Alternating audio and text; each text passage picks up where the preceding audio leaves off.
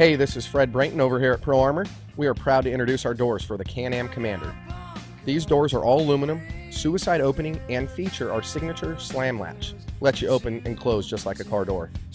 These doors not only look great, but offer great protection from the elements while out riding. More products for the Commander coming soon, so be sure to visit ProArmor.com to keep up on all of the latest news from Pro Armor.